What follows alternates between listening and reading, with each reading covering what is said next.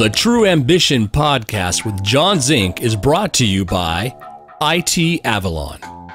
IT Avalon, IT staffing and professional services done right. Visit our sponsor at itavalon.com. Now, welcome to True Ambition. Who's gonna be there when everything is tumbling down? This is John Zink. Welcome to the True Ambition podcast. I'm very happy today to be joined by Mr. Tom Patti. Thanks for being here. John, great to be here with you. So, you and I met years ago up in Reno through a mutual friend named Brian Seligman. The infamous, great, and legendary friend of everybody, Brian Seligman. Yeah. Exactly. So, uh, we were up there for uh, Mike Tyson was uh, doing a one man show. And uh, Brian said, My friend Tom's coming. He's known Mike forever, and uh, it's going to be a surprise. So we're at the Silver Legacy. Place is packed. Mike's up there on stage, and uh, just his one man show is awesome. It is. You know, to uh, to hear because there's so many stories about Mike that uh, you know a lot of them are you know made up through uh, whatever sources come out and uh, make up information through the media and it was just it was great to see and hear him give his take on everything I learned things in that show. I, now, I lived with Mike since he was 15. We were 14, 15, I think 15 years old, and I was 17, 18. And watching that show, because Mike you know, was a very reserved guy, very quiet guy. He came came from a rough neighborhood and, and, a, and a tough childhood. So it wasn't like, you know, it was like, hey guys, and you share, you know, I used to live in abandoned buildings and my mom was a drug addict. And, you know, you don't really share these things. But he got up on stage and he revealed, and I, more than anything, and even myself, but you walked away and you're like, oh, I got it. Wow. I now I understand like how did he go through the money? How come there was dysfunction in his life? How come these terrible things in, in the end when he talks about losing his daughter Exodus and he's emotional about that and it's still to this day a void in his life and you're like he's human. right He's a man. He's you know gone through trials and tribulations and he has feelings. It's really not that iron Mike with the tough veneer. It's that's a human being right there expressing and sharing some very personal details of his life. And his father was a was a you know, was a um, a pimp, and his mother was you know again a drug addict, and they barely got by. right So, anyways, it was I, I thought it was very honest, very courageous, and very honest for Mike to be out there and just lay it on the line. it was it was incredible because my wife Carissa, we got done and she's like, "Oh my gosh, I can't believe she was." We were laughing in tears. I mean, just the, the whole spectrum of everything that he went through. It, it was really impressive to see it.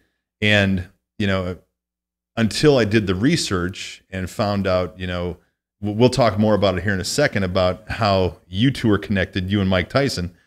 Um, did the research to see kind of where you came from, but Brian said Tom's known Mike for pretty much his whole life, and Mike has no idea he's here. So you're down in the front row, and it's about halfway through the show, and Mike. It turn- wasn't actually it wasn't even. It was about 25, 30 percent of the show. Oh, was and, it? Yeah, and then Mike looked over. He's like, he goes, MF and Tom Patti. And then every time he would say something about Cus or something else that you guys went through, he goes, You remember Tom? You remember what happened, Tom? And it was really cool. And then we got to meet him afterwards. And I was super surprised at how short he was because seeing him on TV, mm-hmm. I just always think of him as a monster right. Because he stood maybe about here on me or something like that. Yeah, but but then he you're a big guy. You're five. I'm like six three. I'm sorry, six, six, uh, four, five. Uh, I was thinking, yeah, you're a big guy though. Yeah. So Mike's honestly, Mike's five eleven. Okay. So I was just he's surprised. thick, like you. He's thick and powerful. So, but he's also bigger than life. I mean, he's an enigma. There's Mike Tyson. His personality, his aura is bigger than it's bigger than life. Well, he reached out and shook my hand, and then I saw a size because Yeah. the size of his hands just engulfed my hand, and I've got a large hand, and uh, it, it was it was really cool. So what I want to do is dig into a little bit of how you and Mike met. So you, I, in doing research, your father also trained with Cus D'Amato, Yes. correct? Yep. What year was that? So my dad trained in the 40s and 50s with Cus when he was a young teenager. Okay, and and to give a little little background and a little bit of a story. So my dad grew up on the Lower East Side, New York, and he didn't really have much of a father. Um, my, you know, my dad's grandfather was in organized crime. He was very, uh, he was a consigliere of the of the Lucchese family. So Okay. he was, he was way up there. My dad's dad was in that kind of path of life. So my he was oftentimes away, as they say back in New York, he was uh, up in the farm. You know, he was doing time. So my dad grew up on his own in the streets of New York, and he eventually found his way to this gym, Gramercy Gym on 14th Street.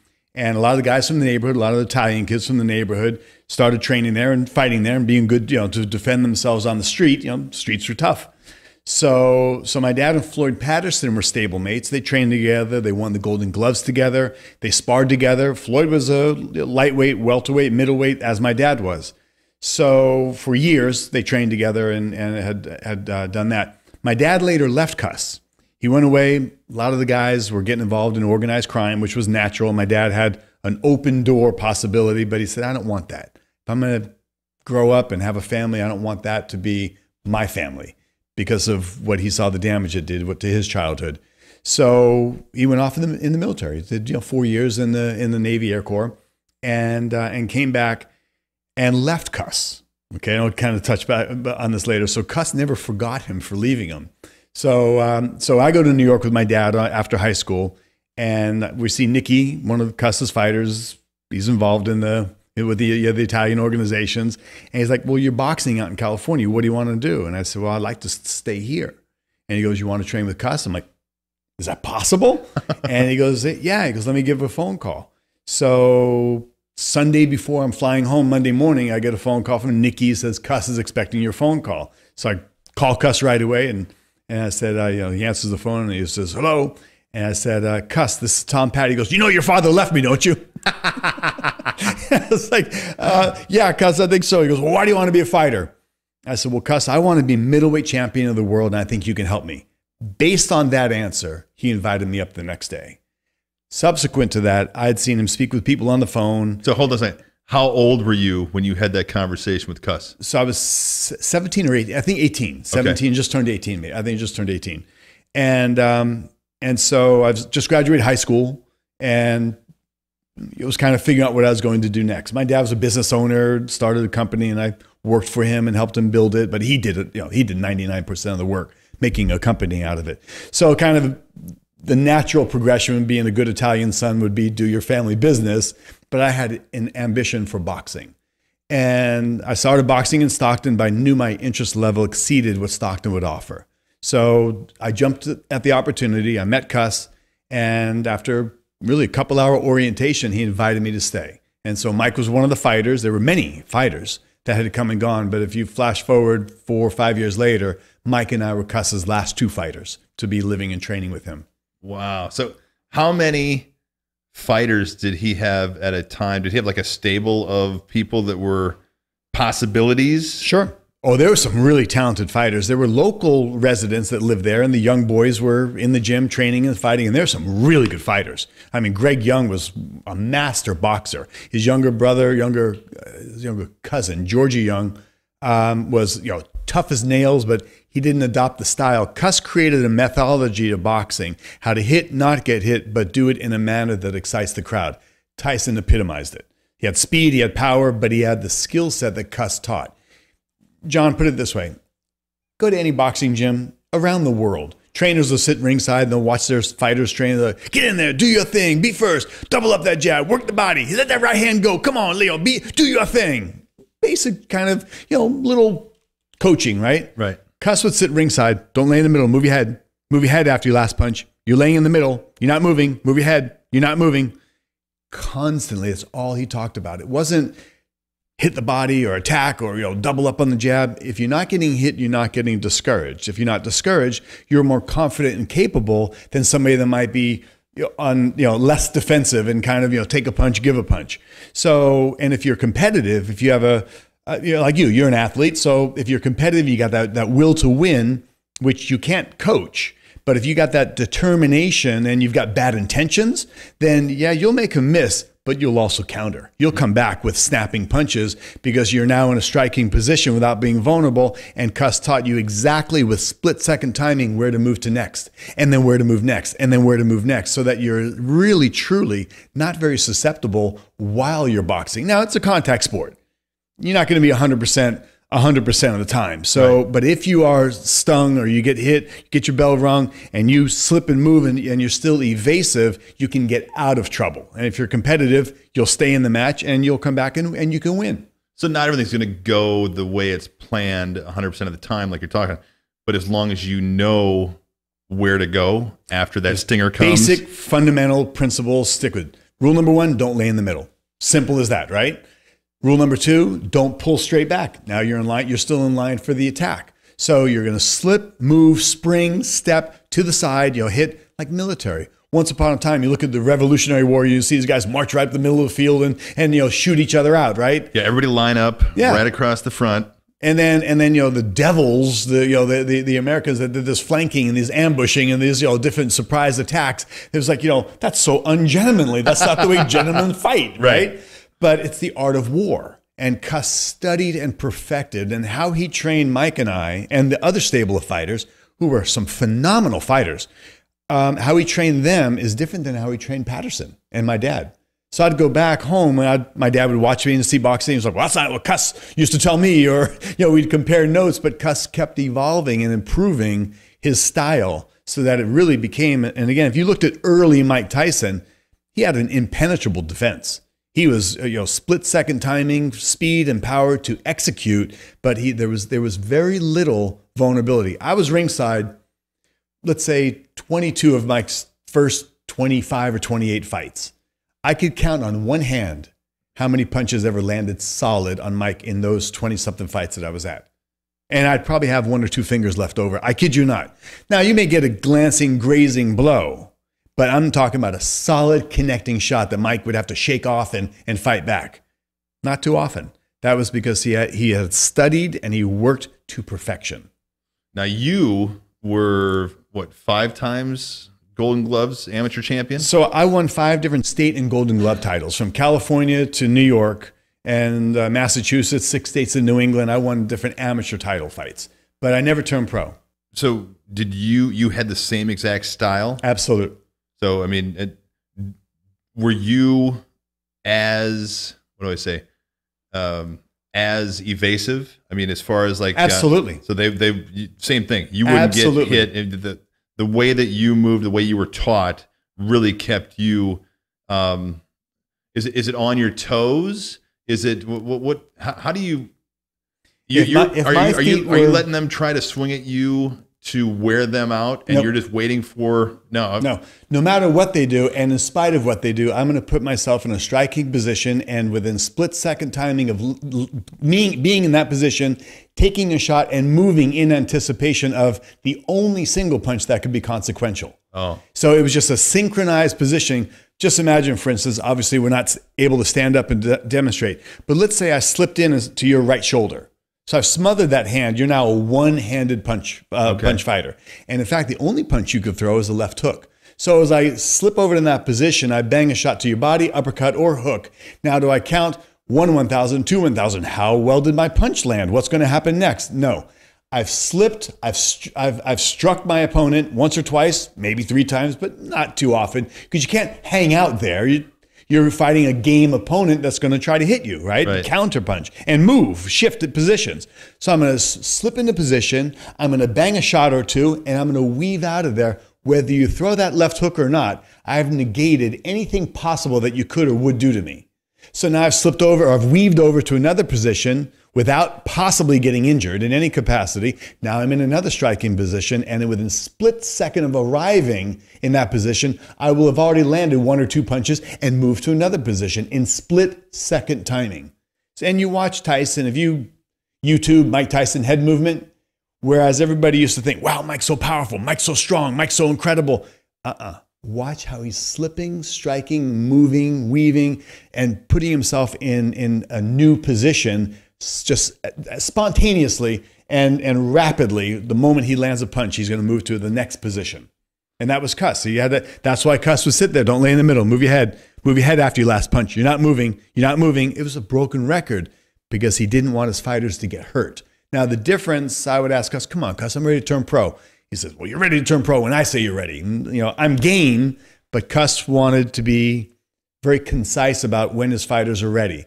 And while Mike didn't have a lot of amateur fights, and I probably had even more than he did, but while Mike didn't have a lot, he did have speed and power so that he could really capitalize on being in a striking position without being vulnerable. So let's say Mike had, if Mike had 40 amateur fights, probably 35 of them, you know, 30 plus of them ended in knockout.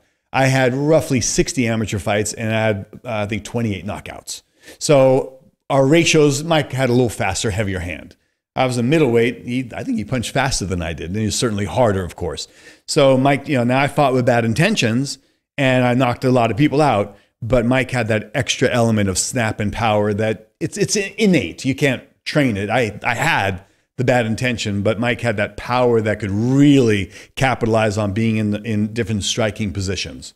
So that's why he accelerated through the heavyweights.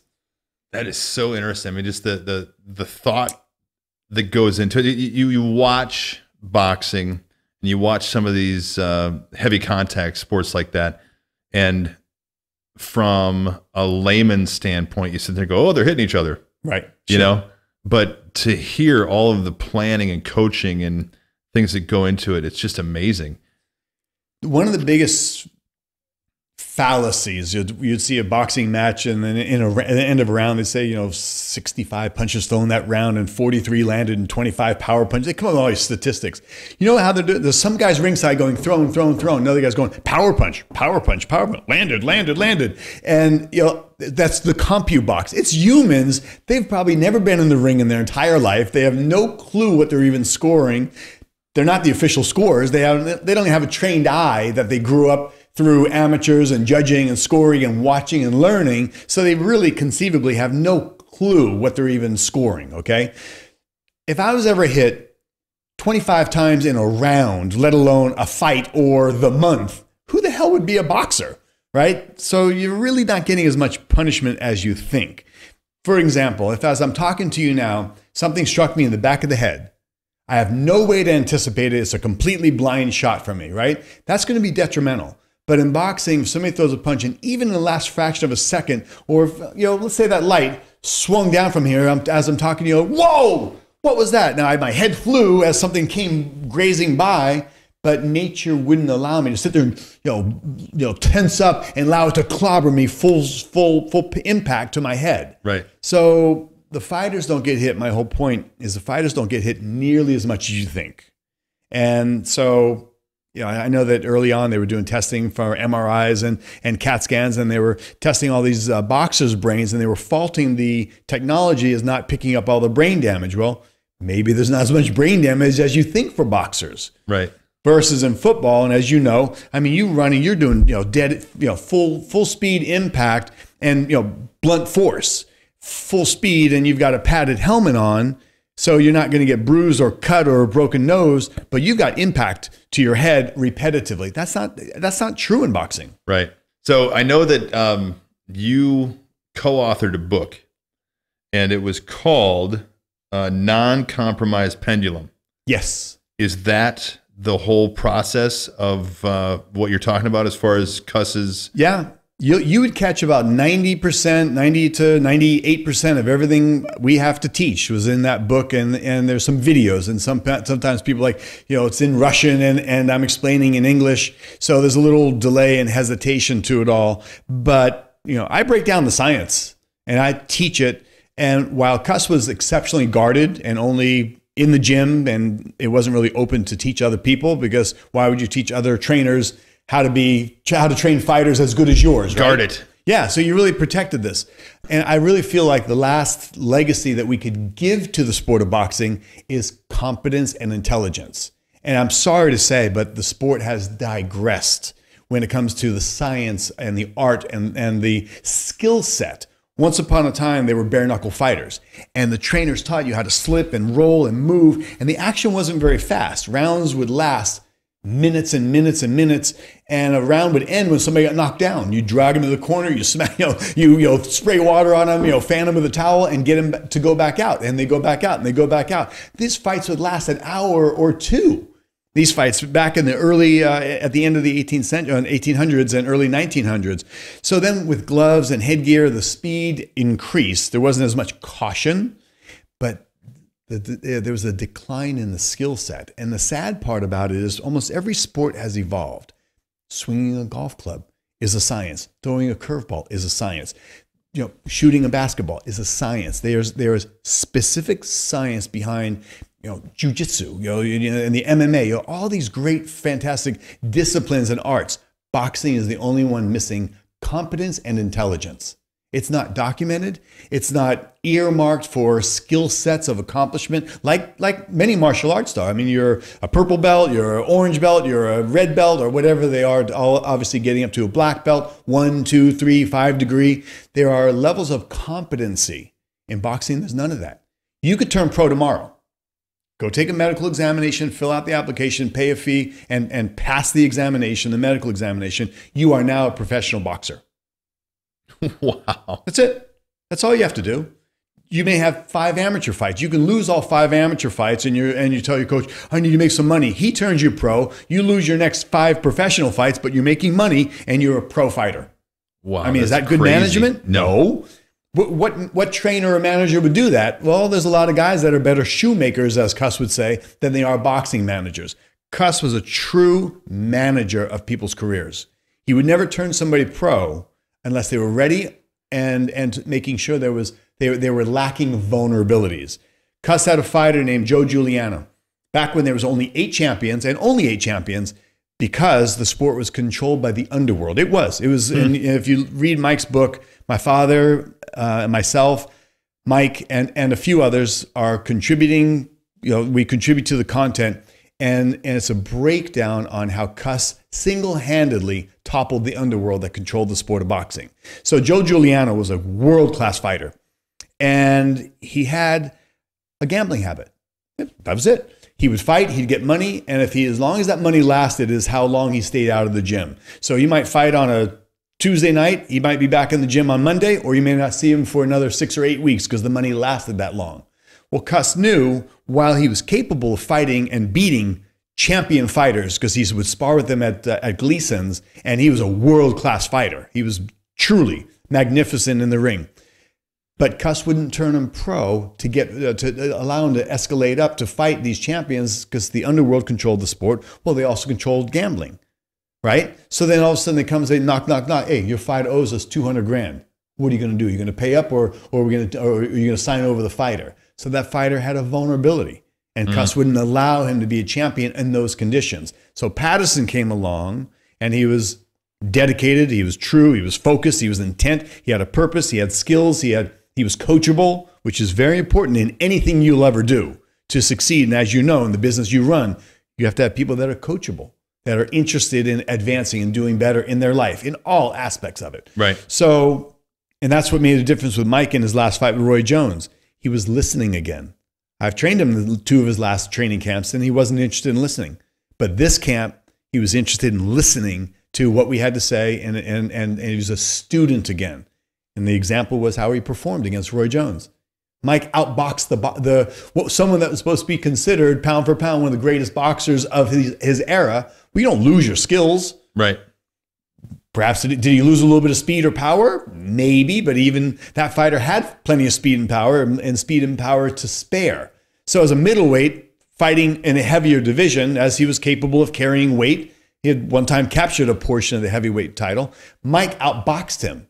That was the plan. Let's outbox the boxer. Let's look better. Show your skills at a higher level. Let's let's exemplify your excellence. And that's what, instead of going out looking for a knockout, let's go out there and show skills. And it was up to Mike to do it.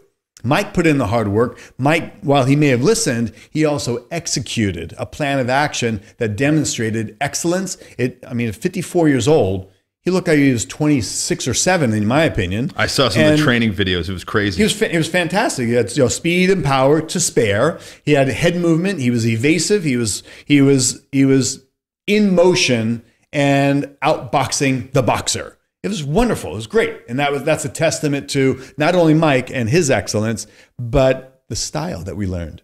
You couldn't see Joe Frazier in the ring in his fifties. You couldn't see, you know, any any you name any slew of heavyweight champions. But for Jack Johnson, who was a great boxer in his era, he last fought when he was 53 and a half years old. So Mike even eclipsed that. And Mike's going to fight Holyfield again, by the way. He's got a match against Holyfield set. When's that going to be? I don't know the dates. I'm going to go see Mike tomorrow, and I'll start to find out a little bit and, and just check in. But he, he's, Mike's on track. I'm proud of him. I might be around a little bit to help, but I'm so busy as a county supervisor and and taking care of what I'm doing that uh, that if and when needed, I'll I'll help Mike a little bit. But uh, but Mike's doing great. I'm so proud of him. What's uh, we're going to get into your business and uh, your public service here in a second too. Uh, but what what do you think has changed as far as you said? You know, Mike is listening now and taking direction. What do you think has changed as far as is it just maturity? Is Sure. it self help? What, what's what's going on there? Yeah, and, that's a great question, John. I, what's changed is attitude, your perspective. I mean, at one point you're you're a you're disinterested. You have yeah, like I don't care attitude. Okay, but that's only going to bring you so far. And I'm not even saying I'm not saying that was necessarily Mike, but but as Mike has admitted, he just wasn't he didn't care about boxing anymore. So now there's a new challenge in front of him.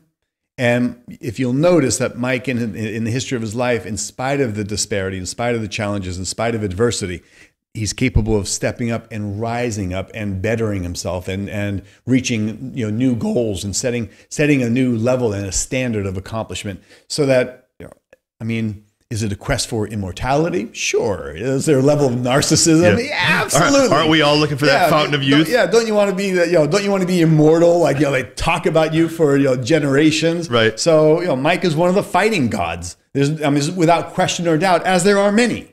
Um, but, you know, Mike has a unique place in boxing history and he's not done yet. He still wants to cement while the end of his career, his last couple fights may not be the most favorable.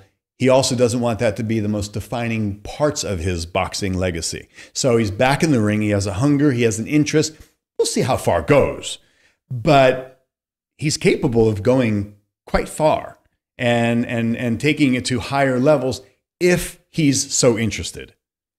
So, um, being a close friend of uh, Mike's, you guys being close friends, That's my brother. what? Yeah, being brothers. What, on a personal level, I mean, he just seems like different uh, recent interviews. He seems like the nicest guy ever. I mean, it's like he every once in a while he will say something kind of off the cuff, but the rest of the time he seems soft spoken, uh, very. Um, he's he's very careful with his words when he's talking to people. He just seems like uh, he's in a good place right now. Mike's very gracious. Mike's very humble in many capacities, and there's a full spectrum and a dichotomy to Mike. Uh, Mike As there is to all of us, yeah, right? eh, all of us. But Mike Scott, I mean, we know that um, you know Mike's gone through many tests and evaluations to get his boxing license back, and there's a lot of things that were publicly. I mean, I've known the guy since he's just a teen, you know young teenager. Taught him how to drive, got him his driver's license. Uh, he was too shy to even talk to girls. I used to coach him just to even talk to a girl. He was just so so bashful. So there's a level of insecurity.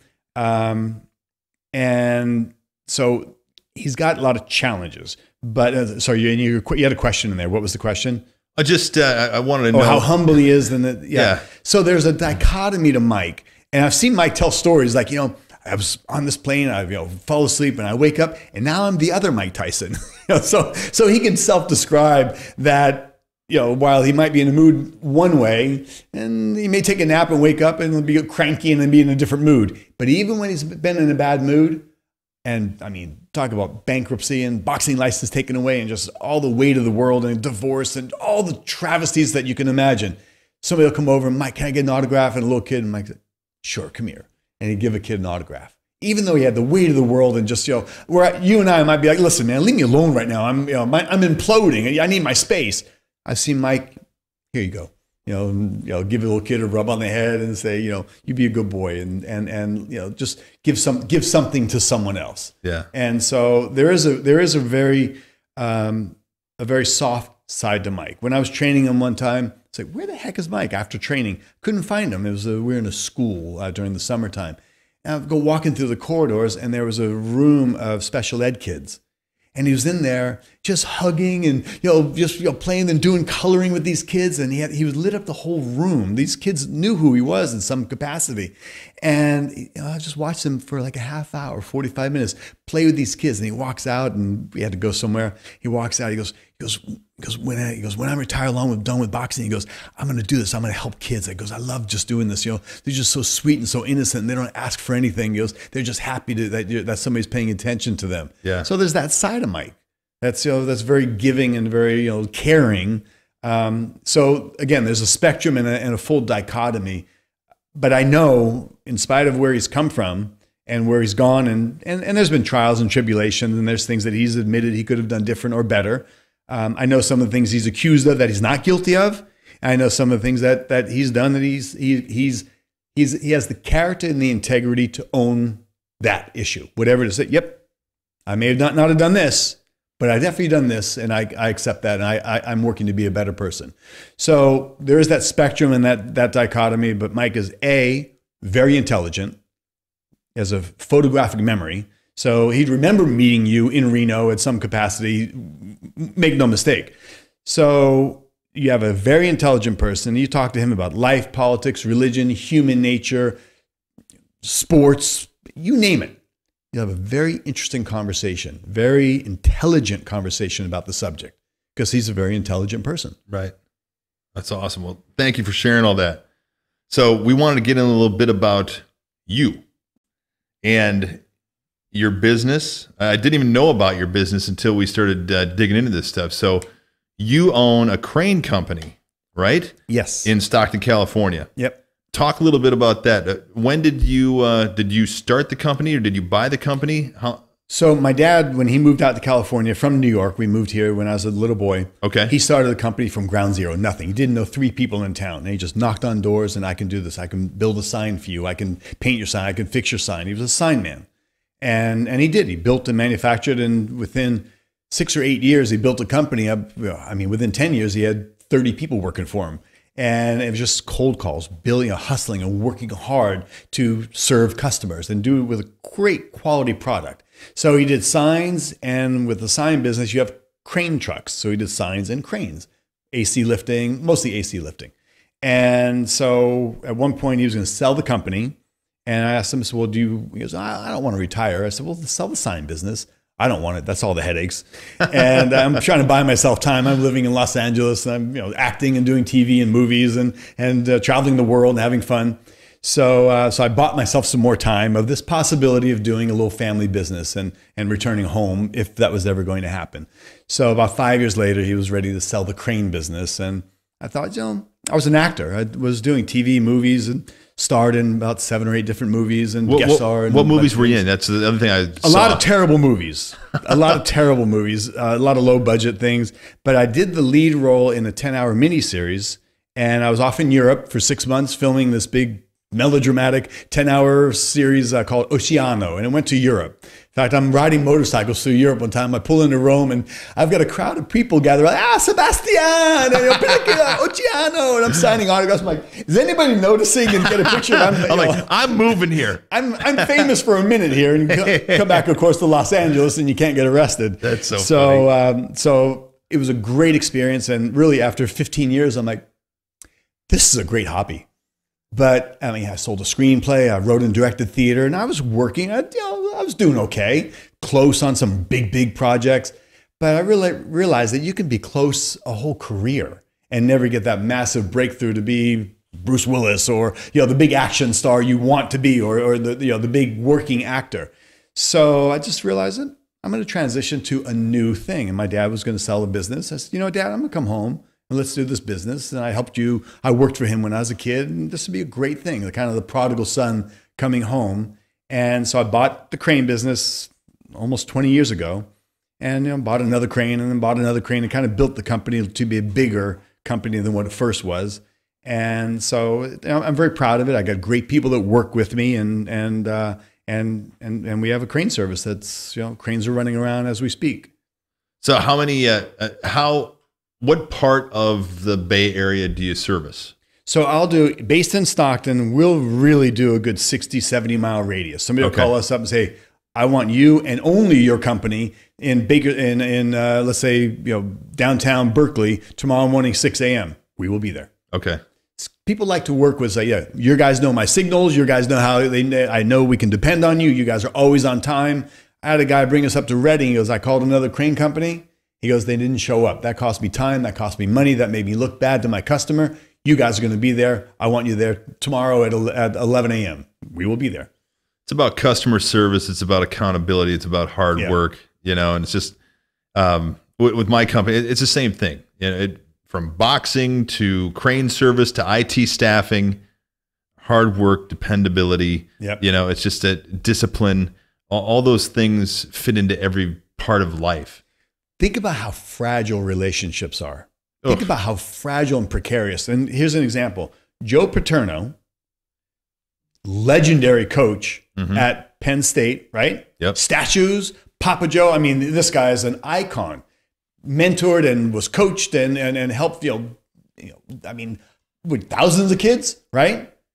And definitely overlooked some bad conduct and behavior from one of his coaches and some kids that were most vulnerable that should have been the most protected Right. were unfortunately under his watch they were not protected and cared for overnight his statues are down his name is scrubbed and and like that you're almost erasing all of his 50 years of history Right. 50 years of history wiped out because of one discretion ind- indiscretion whatever whatever whatever he didn't do that he should have done to protect the most vulnerable and innocent he didn't Right.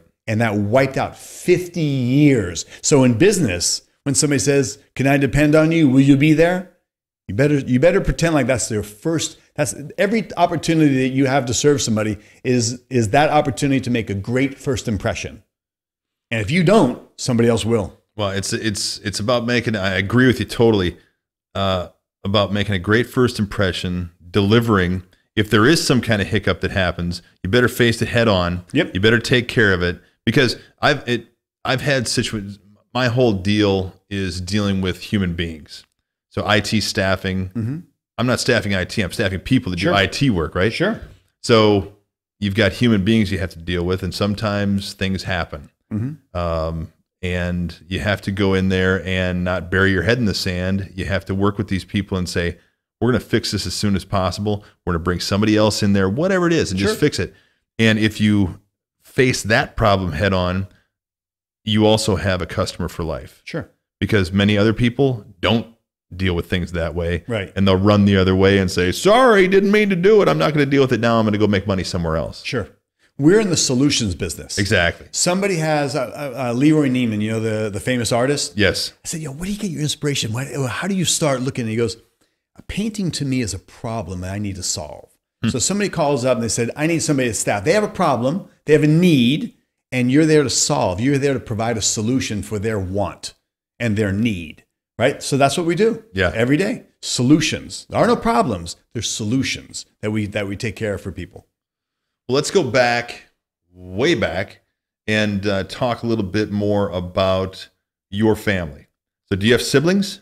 I do. I have a um, I have a sister, older sister, and then I had a little brother that died when he was 12 years old. Oh, That was very um, that was that had an incredible impact and you know good good good young boy. He was a really good boy. I was I always think, figured I was like self destructive and you know kind of on my own you know path and I always thought well I could die and then as my little brother could be the good Italian son and take over businesses and, Right, right. and be the good son. I had such a sweet mother. She was oh my gosh she's uh, still with me of course. Lost my dad a couple years ago. Okay. but um, um, I was pretty rambunctious as a kid, like we all are. You know, Yeah, we, yeah. We're all finding our places and our ways, and I was never a troublemaker. I didn't start trouble. I didn't, you know, pick on people, or I defended everybody that needed defending, and so I was constantly in the mix of something to help somebody that needed something. what happened to your brother? He had a brain tumor, Oh, and uh, and he died. He died pretty much uh, just just right after the operation, but there was no cure. There was no there was no better tomorrow for him. So um, so he was a very good boy. He worked with special ed kids as a little boy. He was, he decided he was just he, he was just to spend all of his time helping and working with special ed kids. He was a really special kid to do. He pushed a kid in a wheelchair in a in a walkathon one time, and you know, just wanted that little boy to be part of the walkathon. And he volunteered and did it. Wow. So he was a really good boy, and it was, uh, it was it's, it's tough. It, it devastated my dad losing his son. It just he lost, you know, half of his life was gone when my little brother died. Well, as parents, I mean, just looking at it now, I have one child. You have an 11 year old daughter, right? Sure, yeah.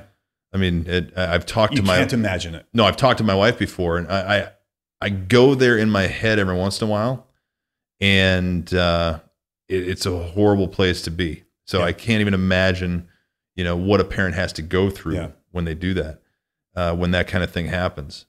Um, so what? Where's your sister at? She's local. She lives in in, in Stockton and um, Florida. She they spend their time. My brother's got a large international company, a lot of uh, um, um, road paving equipment, and Oh. it's one of, one of the co- few companies in the world that manufactures these big airport runway paving equipment and and uh, highways. You want a six lane highway? He has a piece of equipment that can do it. Oh, that's awesome. Yeah. So um, so yeah, it's a four lane. I think they do as wide as four lanes at a time. Um, so yeah, they travel a lot internationally and and spend a lot of time in Florida as well. They have a house there. So, what took you into public service? Did you kind of think in the back of your head for a while that you wanted to get into it, or No clue. No clue. No thought at all. And, and so I was watching my sister and brother-in-law do things for Red Rhinos, an orphanage in in Kenya, started by some people in Stockton. They would Okay. do annual fundraisers. I'm watching my sister. I'm like, she's really shining. I really appreciate my sister doing. And my brother-in-law would host some political fundraisers. Like, you got to be involved in the community. So they asked me if I would have if I would ask Mike Tyson to come to town and raise money for Red Rhino. So we did. Mike came to town, and while he was here, we we barnstormed around. We did probably eight or ten fundraisers for communities, veterans, and uh, you name it. Went to schools and mentored kids and talked to you. Just outreach in the community. I mean, Mike Tyson's there. It's a pretty big deal. Yeah. So I, I stretched every minute of the day out into something for him, and he's like, "Well, come on, where? Let's go. Let's go. Let's keep going." So when it's all done, I'm driving him back, and we raised hundred thousand dollars for Red Rhino. That was a pretty big. That was their almost their annual budget. So we're driving up to Sacramento, and uh, he goes, "Tommy, I want you to do me a favor." I'm like, "I'm actually sitting where uh, uh, Joe Zeider gave us his uh, a bust, so that he chartered for us." And um, so we're, you know, we're sitting in the back. He goes, "I want you to do me a favor." I said, "What's that?" And he goes, uh, "I want you to run for office." I'm like, "What in Mi- that Mike says world this? are you talking about?" He goes, "Tommy, I'm telling you, man, you got to run for office." I'm like, "That's the craziest thought. You, where's that even come from?" He goes, "Stockton's going through bankruptcy. Stockton's going is like noted as the worst city to live in." It's he goes, "I was." Mike said, "He goes, I was nervous coming here. I've heard so many things. All my friends saying like, don't go to Stockton. It's terrible. There's so much crime and there's murder and it's one of the worst cities in America." He goes, but I met so many great people. You, they respect you. You're reaching out in the community. You're making a difference.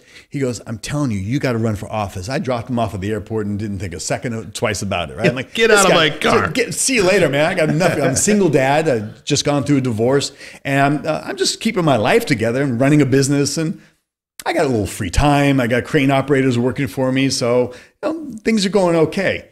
Why complicate it, right? So then about a week later, I get a phone call and somebody says, Hey, I want to meet with you for lunch. I'm like, I'm available for lunch. So we sit down. He goes, You ever think about running for office? I'm like, You talk to Mike Tyson? and he goes, No, why? I said, Mike said the same thing. I said, All right, what is this about? What, what do you, what, what, what, yo, tell me about this. And the reality is, it struck a chord for me. I had friends of mine. I moved back here. I was living in New York and LA. And I was bi-coastal. I was living uh, I had apartments in both places. I had a pretty good life in great cities, right? A lot of friend, good friends and, and doing cosmopolitan things. But if I was going to raise a family, I thought it was going to be more in this home environment, that uh, smaller town. Right. But you realize that there's challenges. And a friend of mine's like, Yeah, I told my daughters, you graduate college, don't come back to Stockton. I'm like, I just came moved back here. What would you tell them that for? It's a great place, good quality of life, and it is. Right. I mean, boating, the Delta. You've got you know, hunting, fishing, recreation. Go you know go an hour in any direction. You can find new and great places from Tahoe to, the, to San Francisco. So there's plenty of things to do. And he's like, this you know place is bad. It's no good. It's trending wrong. And I, well, what are you doing about that? That's what I kept thinking. What are we doing about that? How can we get involved and make it better? So I'm watching my sister do things in the community and my brother-in-law, and I'm watching. So I've studied all these things. So when Mike mentioned it, it kind of did plant the seed. And then another guy mentions it, and then someone else mentioned it. And I'm like, you know what? I'm in. I'm going to do this. I'm going to make a difference because I'm going to raise my daughter in a community that I fought and worked for, and I improved the challenges. We're not going to fix problems. Right.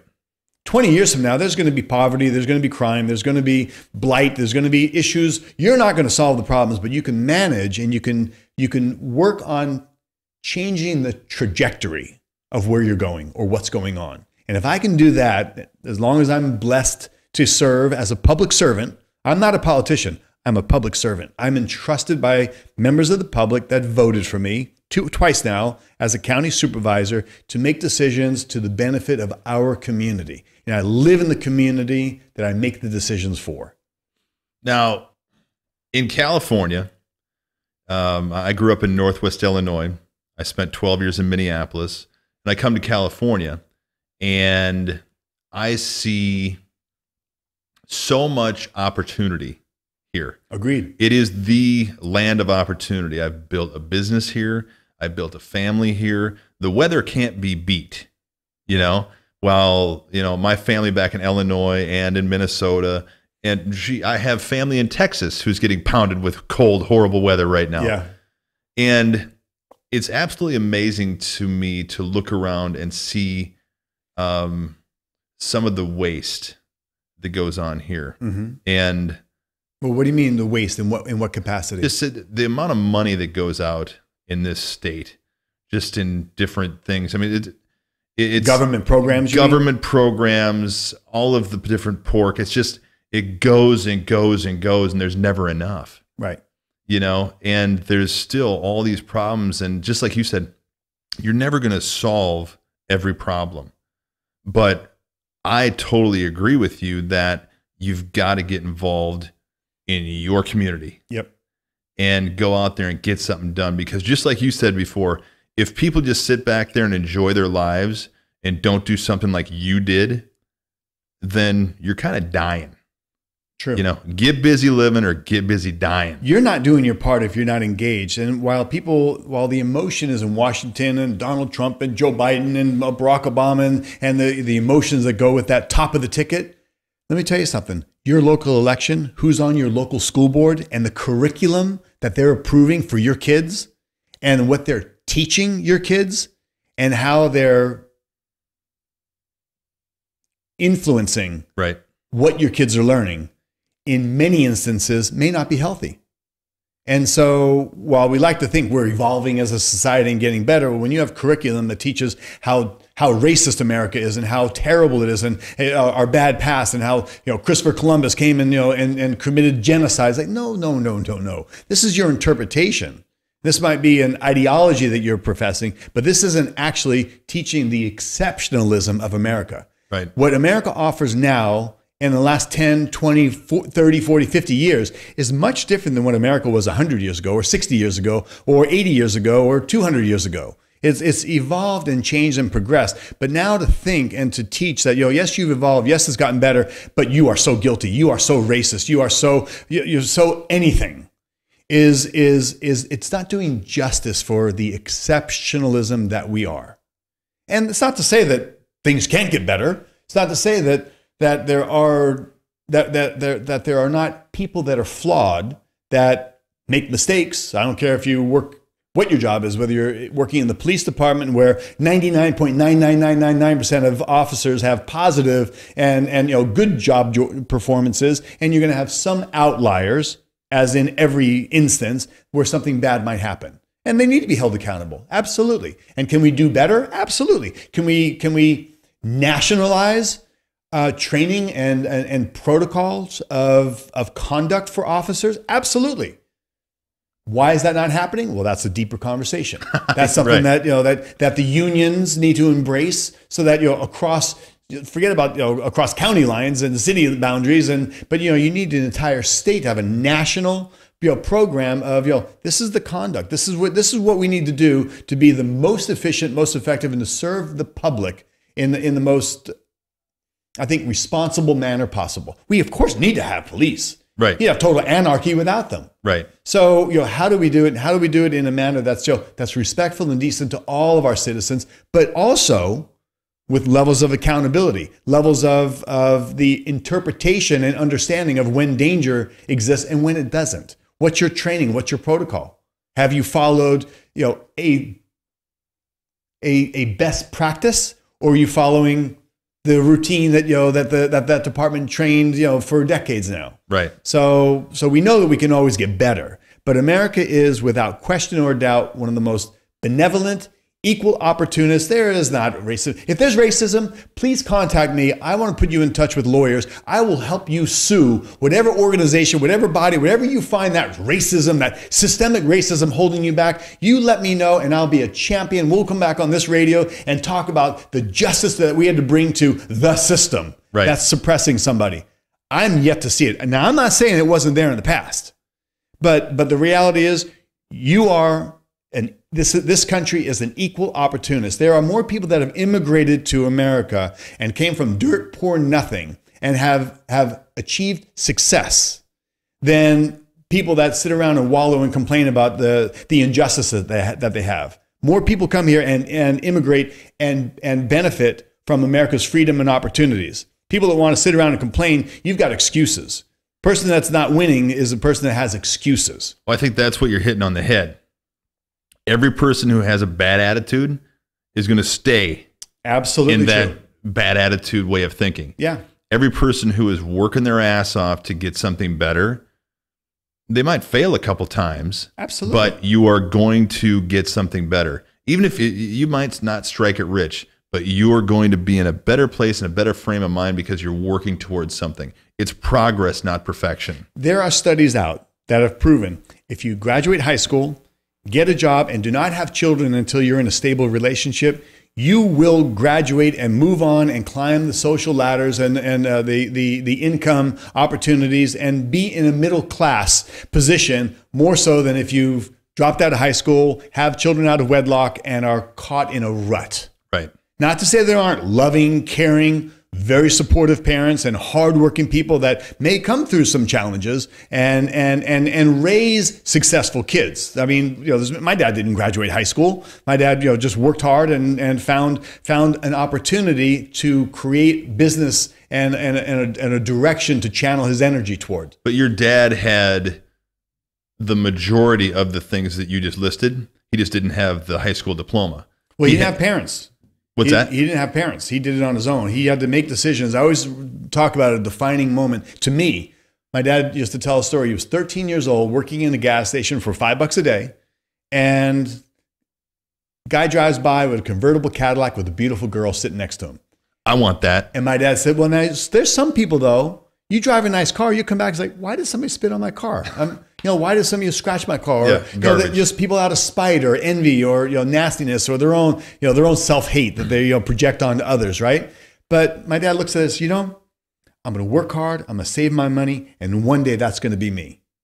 And he did. He worked hard, saved his money, and you know when he was 23 years old, he's got a convertible Plymouth with leopard skin seats, and my and my beautiful mom sitting next to him, and he's like, you know, he's on his way. He, he I did worked it. hard. He did it. Just just in in what these 10 years of making good choices and working to achieve something.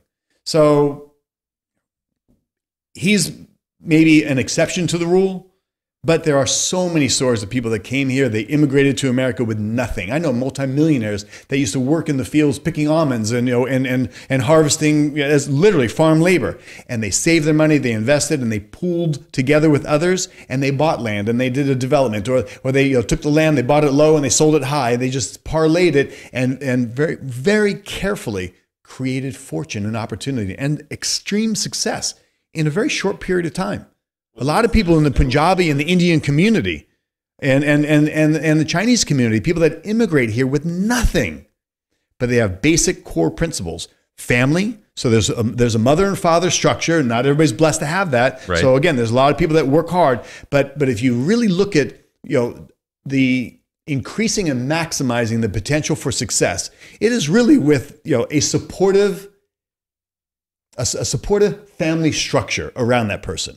I knew my grandparents. I knew my mom and dad, and you know, had had a loving, supporting. Was it a perfect childhood? Was it a perfect environment? Absolutely not. There's a reason why I was compelled to boxing, right? You know, I had you know, my own frustrations and my own injustices that I needed to to vent out. But in reality, I had a loving, caring, supportive family. There was a Christmas tree every year. There was presents under that tree, and my family worked hard to provide to us and those that we adopted and brought into our family and gave them more than they had.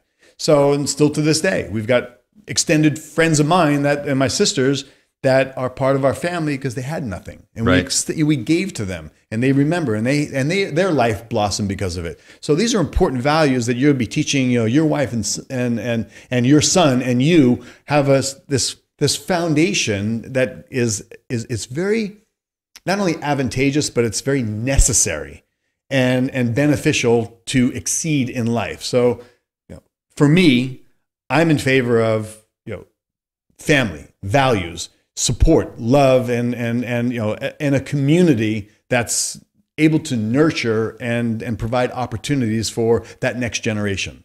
Well, over this past, uh, what I was going to say before was uh, there's no shortage of opportunity in this country, and there's no shortage of money. You know, Correct. and it's like you, you just go out and make it happen, and you'll get all the all that you ever dreamed of. I mean, I, I'm living, walking proof of that. You know, one of the things I had to do was get sober because Right. I was a drunk, and as soon as I got that out of my way, which is that monkey on my back, Right. I had the good fortune of uh, meeting a bunch of people who gave me an opportunity in IT staffing, who taught me, just like Cus taught you. Mm-hmm. Right. You've got these coaches and these mentors in your life that are angels Sure. That just all of a sudden step in. And as soon as you get the monkey off your back and you get the disbelief and the doubt out of your life, Mm-hmm. you can do anything. Agreed. You know, you just got to jump in, both hands, both feet, go for it, and it'll just happen. You know, so Well, you don't get caught in the God. That's going to be tough. Is that yeah, it's going to be tough, but I can do it. right. So you got to turn that around. I always talk about a book, and when I go talk to youth groups and such, I bring copies and I give out and I promote. There's a really phenomenal book I'd like you to read. It's a quick read. It's you know you can read it in a, a night or two, a few hours. It's called Happiness Advantage. I forgot the author's name. You can Google it. It's right. Happiness Happiness Advantage, and it breaks down the psychology of success and living a happy life. And they've even done studies where they take the same exact you know, kind of like even a baseline career. And they looked at people, and, and there's three categories. People self identified their job as three categories. One is, I do a job. Next one is, this is my, this is my career. Okay, that's you know, job, career. Next one is, this is my calling. Hmm. Now, one person clocks in and clocks out, does their job, and they're efficient. That's fine. But, but you know what? You're going to get just just the hours in between the, the, the, the time clock there. And when they're done, they're done. They go home and take care of what's what's important to them. The other person, like, you know, I really enjoy. This is what I love to do. Well, the next person, like, no, this is what I'm meant to do. And and they stress this in different professions. And the one that was most revealing was janitors that had a job, a career, or a calling and their attitude, their perspective. That person that has a job shows up, does their job, and, and you know, clocks in and clocks out. That person has a calling, they put in that extra effort and that that extra level of not only enthusiasm but satisfaction. It's like, you know what? This is the future. This I'm helping these kids have a better tomorrow. This is my responsibility to take care of this schoolroom, this school facility for that future generation and watching them grow and knowing that I'm providing what I what I what's my calling. My, I'm here to provide for their future. So they have a healthy, safe environment. That's my responsibility. That person has a lo- uh, greater longevity, B, more success in their career, higher pay scale, and and and more a higher rating of their satisfaction in the quality of life they have. And it's just it's just amazing. It's all your perspective. So your perspective becomes your reality. And when you have a positive action and a positive result, then you you know, I mean the the the, the limits are endless. You can just keep going and go further and further. And I've seen people work for my dad that good attitude, bad attitude. The good attitude guys last and they excel and they climb the ladder, and the bad attitudes you you weed them out and and they move on. Well, I've been, I'm sure you have too. I've been the good attitude guy and I've been the bad attitude guy.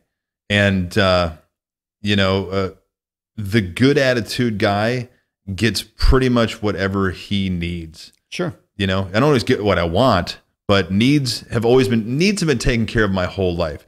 God has provided for me what I could not provide for myself my whole life. Okay. You know, and I've never starved. Just look at me. Um, but the good attitude comes into play with what we just went through the last year and a half or so, uh, year of COVID, right? And the first couple months of COVID, I was like glued to the news. And you were talking before about the talking heads, about Trump, about Biden, about all, and it, what I realized was none of that has anything really to do with me. When it comes down to it, So true. it has nothing to do with me. It has to do uh, it, my company. Um, well, first of all, my God, my family, my company, my community. That's really it. You know. And once I turned off the news, once I got off of most all of social media, my happiness went through the roof. Yep. And I just stopped talking about it. I stopped listening to the noise. Less stress. Oh. Less anxiety. I slept so well. I still do. It's just like I don't care anymore. Uh, These these people, and I don't care if it's Trump or Biden or anybody else. Uh, They really don't have much to do with me. totally agreed. You know, where it's like you, my friends, the people that I know around me, local people who are in um, public service. Those are the people that I need to stay close to and know what's going on. Good to go. You know, because like you said before, that's who's going to mold and shape my kid is my community. Absolutely true. It's, it's very true. And being engaged. And listen, you can be engaged in multiple levels. I mean, I've I've challenged myself to run for public office. I know guys that were coaches at Hoover Tyler Little League for 25 to 30 years. They mentored, they worked with, and they they they took kids that had little talent or awkwardness and made them into you know better athletes and builds their self-esteem. So there's so many ways to have a positive impact. You have a coach when you have a coach that's worked with kids for 20 between 20 and 30 years you've impacted thousands of people's lives you really have. You've, you've impacted them and how they're going to relate and how they're going to mentor and how they're going to coach and how they're how you know how they relate to others because they've got higher self-esteem. They've you know won a championship when everybody thought they were a bunch of losers or whatever the circumstances. So mentors come in many shapes and sizes and and whether you're a great parent or you're a coach or you're a, a fantastic place to work that's these are how we uh, affect other people's lives and what they take out of it and what they need. Like you said, there's you know there's always there's always someone there. There's angels in your life that come along when they need to be there. Like how many times? I mean, I'll go out on a limb. How many times you ever been depressed? Plenty. How many times you had hardship? Plenty. But you always believe like tomorrow's a new day. It's going to be better. I know I can. I know I can do it. Tomorrow will be a new day. I can do better. And the fun part about it is to think back on all those days that were horrible, worst day of my life. And then you look back on it and go, I hardly remember it. Barely anything, right? You think like this is the world. Life's not worth living, Yeah. right? You don't know what it's like, Ed. Yeah. and, then, and then you look back like, what was my problems last year that I was thinking like that? God, they're nothing. Right now I got problems, but back then they were nothing compared to now. I mean, look at I had a career, not not to you know grandize about myself, but so I go from boxing, which is a, this is a school of hard knocks, right? I mean, I you know plenty of Literally. cuts and you know bruises and broken noses and surgeries and just to keep fighting. So you know, I'm in really literally in the school of hard knocks and living a Spartan life, isolated up in Catskill, New York, away from the rest of the world. We train seven days a week, right? So this is my goal, my ambition. and That's fine. It's what I chose. Then I go into acting. I'm, I'm choosing an act, a career in acting. Now, can you have anything more difficult than boxing? Then after that, I decide on politics. So the masochism, the self, you know, the, the, the, the self-hating to you know just do this to myself again and again. But uh, you know, I love the challenges, and you know, and there's there's plenty of adversity, and there's plenty of you know hardships along the way. But you just have to rise to the occasion, no matter how difficult it may be. You got to find it's like yes, you can. I know it's difficult. Yes, there's plenty of doubt and there's plenty of doubters, but you got to believe in yourself. You say, yep, I can do this. I can do better. I can do more. And you work hard to do better. And we may not win every election. You're not going to win every fight. You're not going to win every, you know, every role you go out and audition for. You know, you're lucky to get one out of 150 auditions. But you, know, you have to have that faith and that confidence that, you know, I can do it. It's okay. I'm, you know, even though I didn't get hired, it doesn't make me a loser. It doesn't make me bad. It just, you know, I wasn't right for what they're looking for, and that's fine. I'll be back tomorrow. I'm going to keep working. I'm going to get better at what I do. Well, the fun part is to go back and look at all those things that you or I have been through, and then look at where you're at today and realize how every one of those things that you went through led you to being a better decision maker today in a completely different role. Yep. You know, it's like the roles that you were working on for acting, all the training, all the fights, all the things you went through as a kid growing up, going through boxing. You know, all of a sudden you get to this stage in your life and you look back and go, oh, that's why I went through all that. Yeah. And it's really an interesting thing. I'm, I'm writing a book right now called True Ambition and going through everything that I've done, Mm-hmm. you know, from birth until right now. And then I sit there and realize, oh, it was all for this, this point that I'm at right now. Mm-hmm. Well, and it's this also moment, for the, you're a parent. Yeah. You're going to teach your son great lessons, and he's going to have choices, and he's going to live the life based on the choices that he makes and the effort he puts in to succeed or or lack thereof. But with with with a good mentor, a parent that's gone through and and and realized and had a, an awakening and a sobriety and a trans a, a transitional moment in your life that's very defining you know, look at that, what, what you're going to raise your son to be, what his capabilities and his possibilities are, right? All compress all that knowledge, all that experience you have, and you have a little, I mean, it's a little human, of course, but it's, it's like clay. You can mold them, you can shape them. I talk to my daughter, I teach her lessons like I'm going to, I teach her lessons like I'm going to die tomorrow because I want her to know the important things I've learned along the way. I truly, I, you know, I'm, I'm an older dad, and it's not a poor me thing. I'm an older dad, and uh, and living lifestyle and getting whacked by cars and things that you know, things that precarious situations I found myself in and not willing to back down. Um, so you know, we're both that kind of rambunctious guy. But I, I teach my daughter, so I, I I repeat and teach and and impart to her knowledge, useful knowledge for her to utilize in her life if she chose so chooses. And that, that's me doing my job as a parent. And I think be, you'll be doing you're doing the same. I'm doing the same thing. It's sweet just- little innocent boy, and that's you know you've got an opportunity to make him such a great little human being. Yeah, it's it's absolutely a blessing to you. You said it. it- We're we're both older fathers. You know, that didn't get anybody pregnant when I was twenty. Right. You know, thank God. Yeah, yeah. That would have been horrible for that kid. Um, but now, you know, I'm I'll, I'm I'll be 49 this year, which is mind blowing to me. Kid.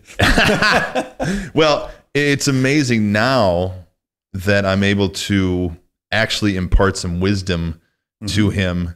And again, looking back over all the mistakes and the triumphs that I've had over these 48, almost 49 years, Sure.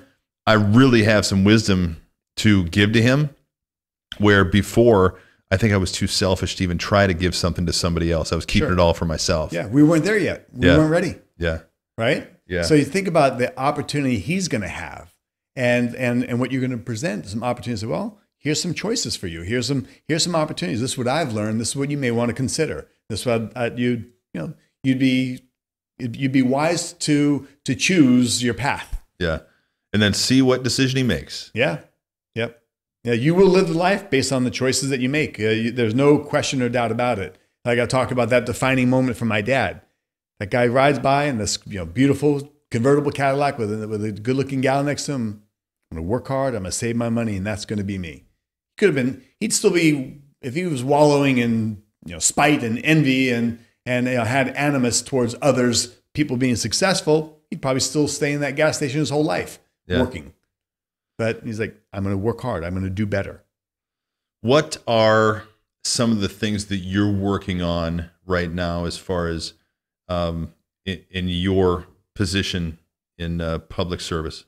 So the number one issue, of course, is COVID, and the biggest primary responsibility we have is public safety and, and, and the, and the well-being of the people we serve. Okay. So we want to make sure we're getting vaccinations out. We've mobilized, we have utilized all of our assets. We are one of the only counties that could stage and do over 40, up to 40,000 vaccinations a week. Hmm. We got our, we got our act together. Now we're missing the, the vaccination supply, but we are ready to do mass vaccinations from one end of the county to the next. Okay. And then that's great. So we are prepared and primed and absolutely mobilized and, and utilizing all of our assets. So we know COVID is the number one issue. So I'm going to message and people need to still get tested. Testing rates are down because people think, oh, the vaccine's here. No, we can still spread that virus. It's a nasty virus. I had it. I had two weeks, but I'm telling you, by day 12, I don't know, and I don't. I didn't care if I was going to live or die. I was like, I'm done with this thing, and I'm, I am, I'm on the brink of just, you know, collapse. I mean, it was, I was useless at uh, on day 12. And day 14 was it turned around, but you, you get your body gets beat up. You're da- you're just going down this path, and you're just there's no. It's relentless. So It's has there been? relentless. When did you have it? right after Thanksgiving, And how? a week after. Is there anything? I've heard a lot. I've read a lot of things about like leftover symptoms and things like that that kind of hold on. Is there anything lung left over? capacity. So my lungs, I had to go on steroids to get the coughing to stop and build, rebuild the strength. So um, I don't know if there's anything to it, but I'm an O positive, and somebody says, "Oh yeah, that's the worst blood type to have." To because the biggest hear all impact kinds is I don't know. I just know my mother had it. She's 80, and she came through it, and she had two and a half, three weeks, and she's rebuilding her strength.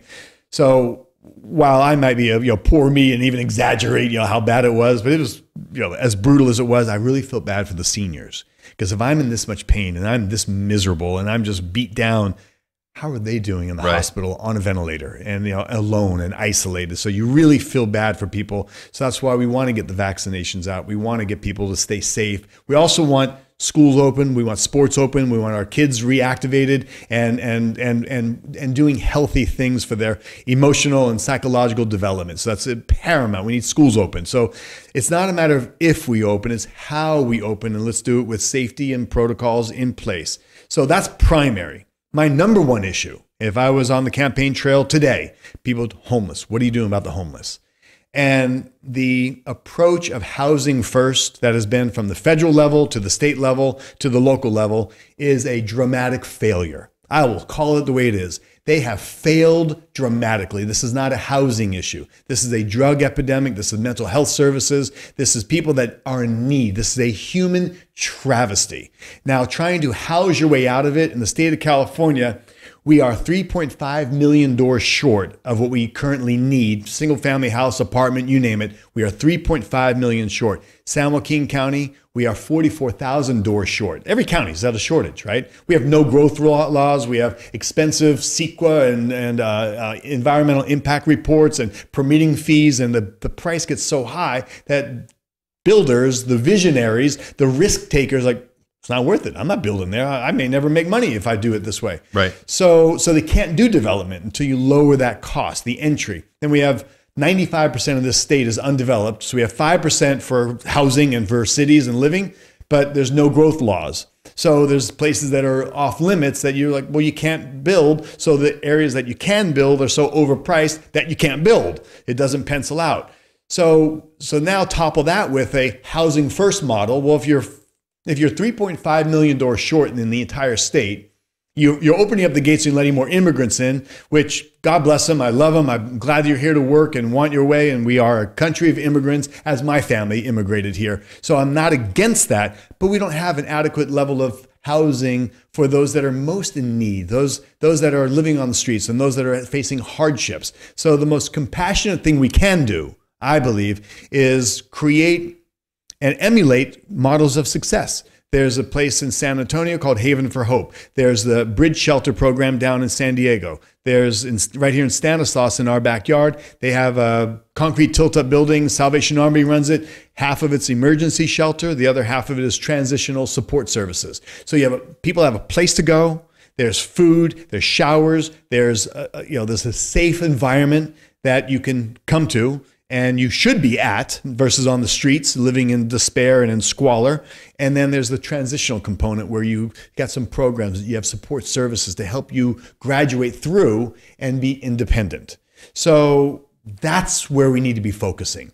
Once you have the entry point where you've you've you've brought your services to central locations. You cannot be out in the field and go to see somebody that you saw weeks ago or months ago, and then, oh, they're not here, or where'd they go? I don't know. They went somewhere else. And you're trying to track your case studies of people that need help or that you're trying to influence to try to bring the, them into services. You're gonna. It's just you're you're you're never gonna catch up, and you'll never be efficient enough with your time.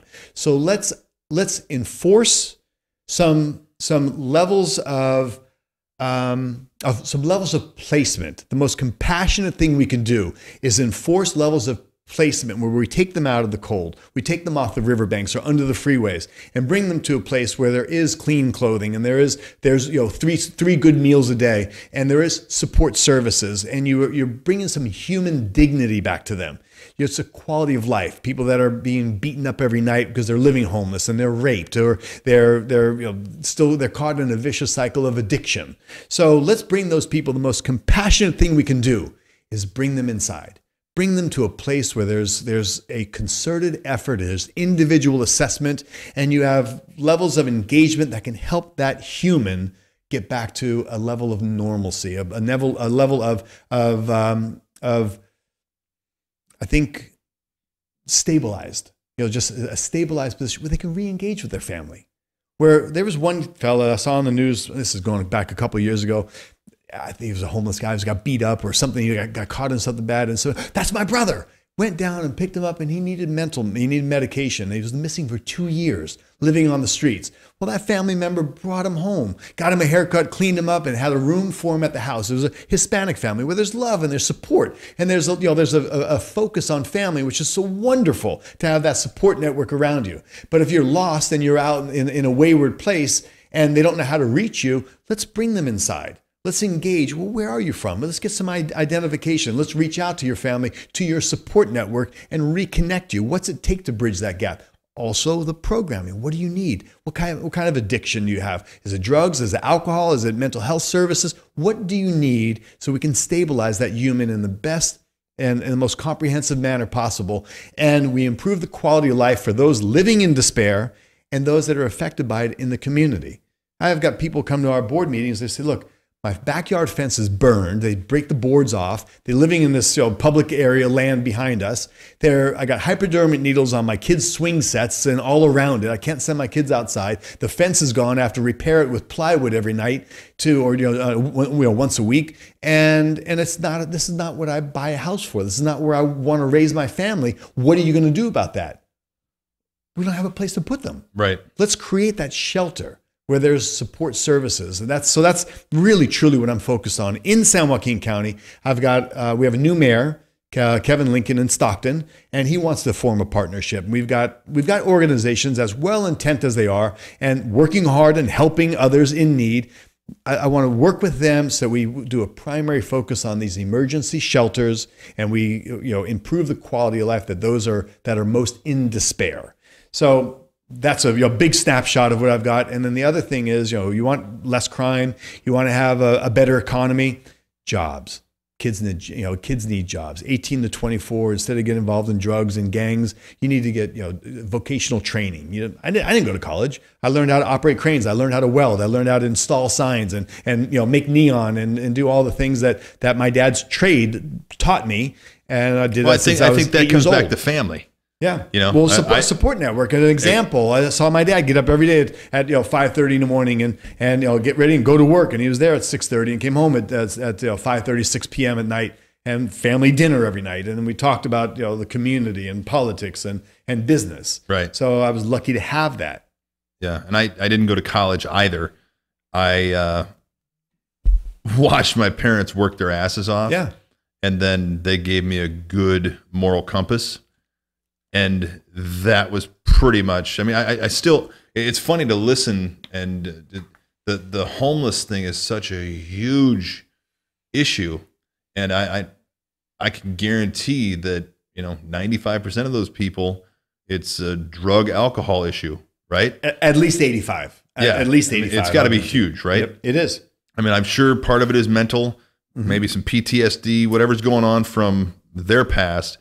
But you know, I, I, I'm in different meetings for my 12 step program that I'm in, and I see and hear some of these people. Mm-hmm. They want help, but they know they're going to go back out and do whatever they're doing to cope.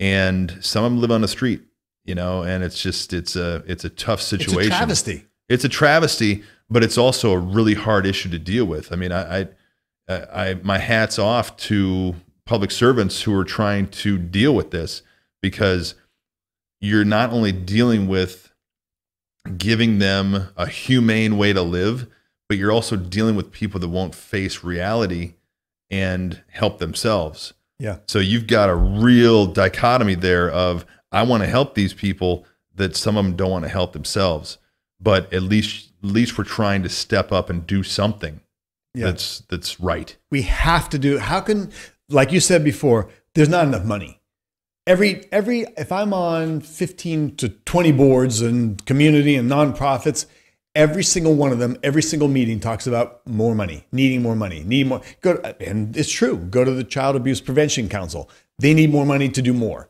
You go to any any program for any in any capacity, any program or any nonprofit, they all need more money to do more. And it's true. Mm-hmm. There's not enough money to go around for all the needs. And we also know that, you know, government and bureaucracies and the way some, some things are spent, you know, it's like nonprofits, like, and, and I'm not naming any nonprofits, but there's some nonprofits like, that guy's salary is 200,000. Do you know that? And it's like, what?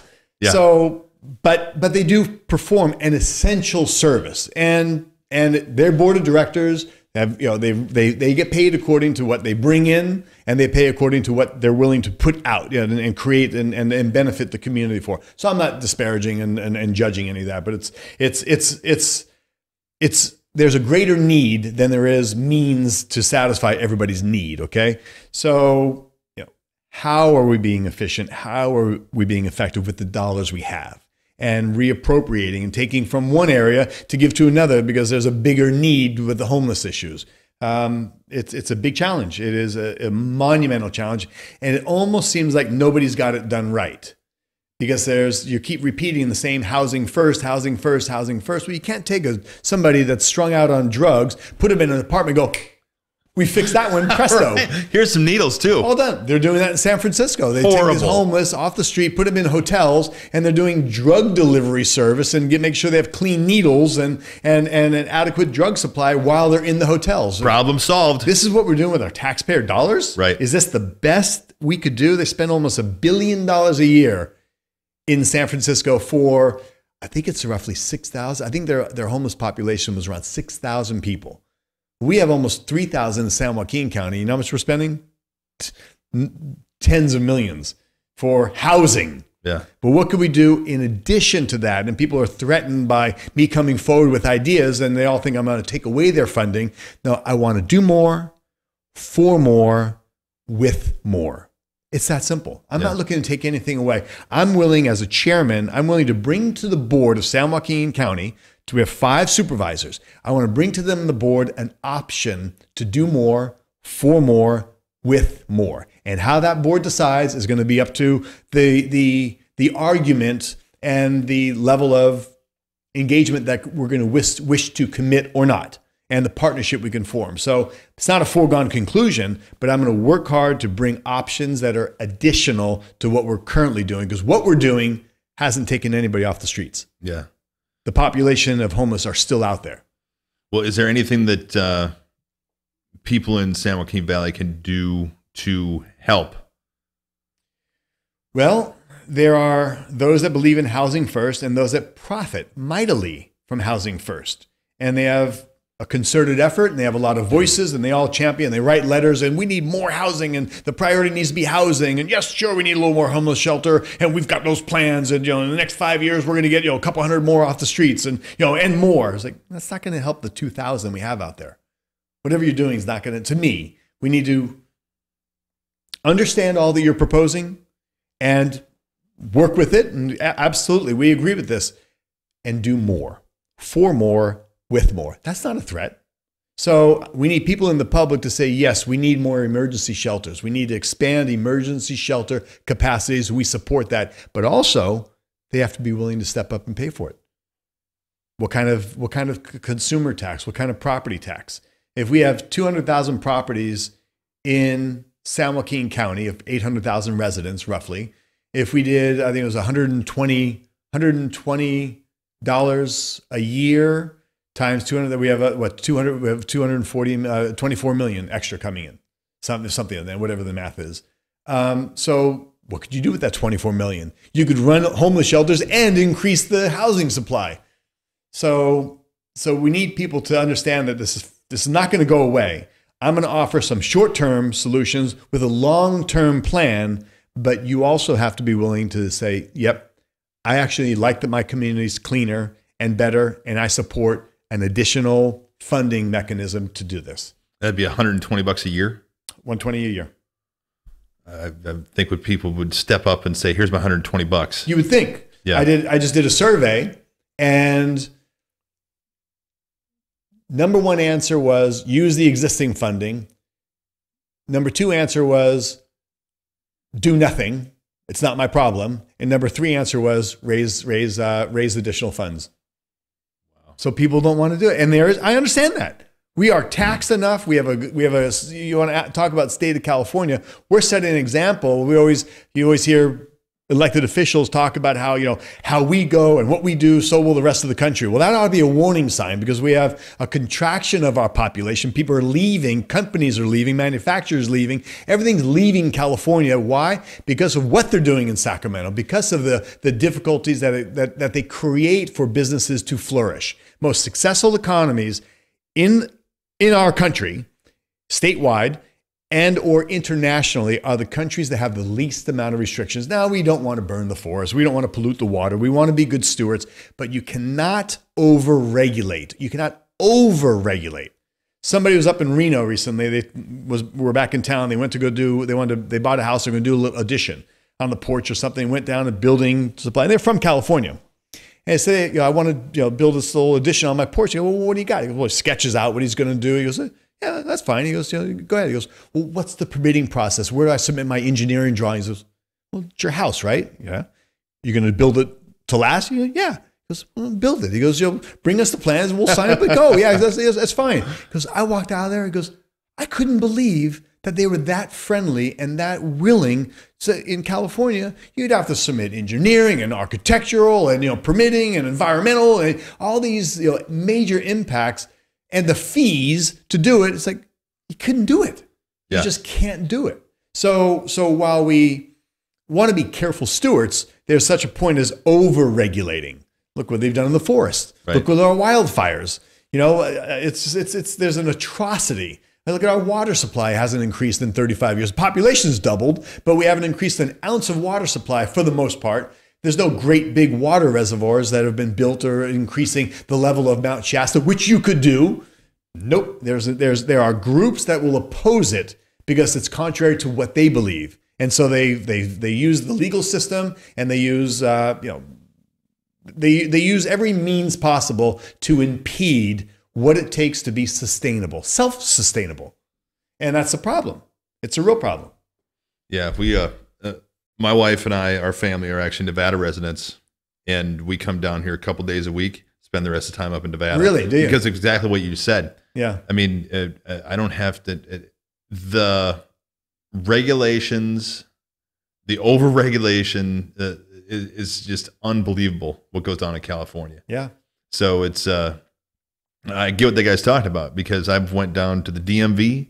Everything that I do in Nevada is so much easier than it is in California. Yeah. And I come from the Midwest. Sure. Everything's way, easier Way in the. Midwest. And it's well intent. I mean, you start a, you say, well, yeah, let's do a permitting process. By the time you're done, the administrative and the fees and this and a coupled on and, you know, and the advocacy for more money, we need to raise the fee, or more money, we need to get more money for it.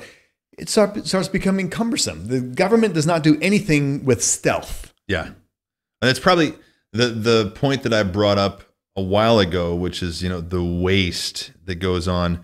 That's probably what a lot of these people are thinking. It's like if you think go up to somebody and say, if every one of you pays me $120, not me. Right. if give Right. us $120, we're gonna take care of this problem.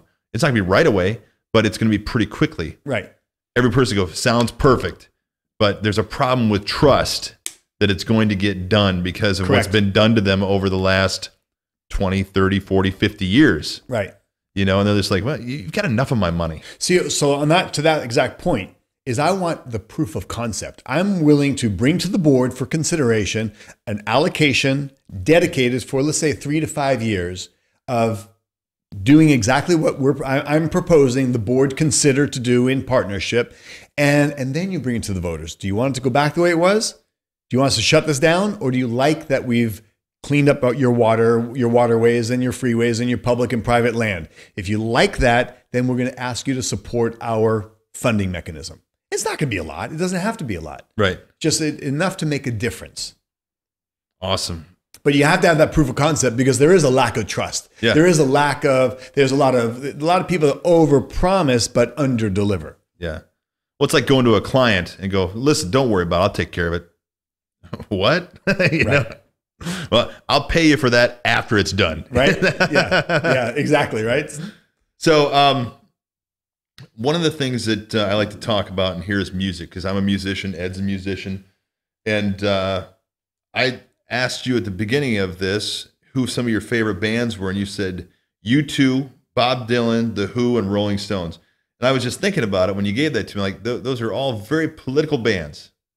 Do you, You know? look at them as political? Oh, Yeah. sure. They're- they're- Really? There's a social conscience to them. Yeah, I can there's, see. there's not too much in there. It's like I'm going to go out and get the girl and blah blah blah. You know, there's, there's a lot of social conscience behind what they sing about and they stand for. Interesting, John. And it was interesting when I saw that. I'm like, it makes total sense.